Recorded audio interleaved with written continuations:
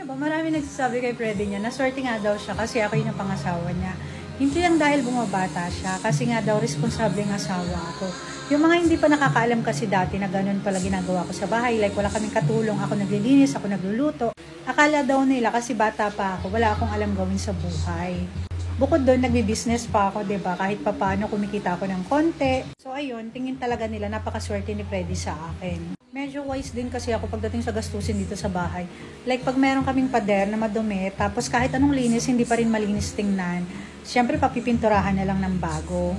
Kesa kumuha kami ng professional, tapos sobrang mahal maningil. Ako na lang, lagi ako ganun kay Freddy. Ako na lang, ako na lang, babe. Sayang kasi yung babayad natin, pang grocery pa yon ganon. Hindi rin ako magastos, like hingi ng hingi or pabili ng pabili ng kung ano-ano. Pag may gusto akong bilhin, pinag-iipunan ko galing doon sa business ko, ganon. Pero may time, syempre, naglalambing ako. Tulad yan, malapit na birthday ko. Sa 29 kasi birthday ko, natatanda na naman ako.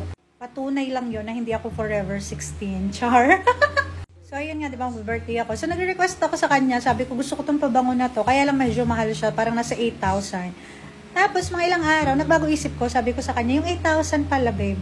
Bigyan mo na lang sa akin. Order na lang ako ng damit worth 8,000. Kasi medyo nagbago na yung ano ko ngayon eh. Parang iba na yung mga gusto kong pananamit. Nakasando lang ako ngayon kasi naglilinis ako ng kwarto namin. So, ganun yung mga gastos ko. Like, pag birthday ko, anniversary namin, ganun, nag-request ako ng something, yun lang. Pero yung out of the blue, bigla na lang, gusto ko pala ng ganito. Ay, may bagong labas na ganyan, gusto ko pala ganyan. Hindi, hindi ako ganun. Tsaka wala rin naman kaming ganun karaming pera.